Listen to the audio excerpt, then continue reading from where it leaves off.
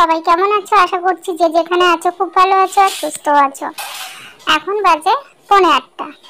তো আজকে এত বৃষ্টি হয়েছে, পুকুর ভেসে গিয়ে একদম ড্রেন থেকে জল বেরিয়ে গেল। আর দেখতে পেলে ড্রেনের উপরে কত বড় একটা লম্বা সাপ শুয়েছিল। বৃষ্টি হলে এরকম সাপ চারিদিকেই দেখা যায়।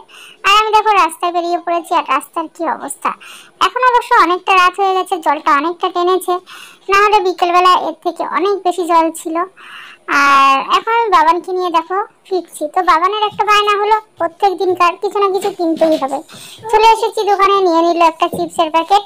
ফেরার পথে দেখি এই যে গোমাতা দাঁড়িয়ে আছে। এটা তো আমি প্রচণ্ড মানে ভয় পাই। নমস্কার করে সাইড দিয়ে চলে এলাম। এসেই দেখো, ছেলে নিয়ে এসেছে কুরকুরে খাবে। মায়ের কত বড় নোলা, মা আগেই খেতে শুরু করে দিয়েছে। তো যাই হোক ওই যে, আগে আমিই খাচ্ছি, এত টেস্টি ছিল খেতে। তো আজকের ব্লগটা এই পর্যন্ত ছিল বন্ধুরা, সবাই সাথে থেকো আর পাশে থেকো, দেখতে থাকো।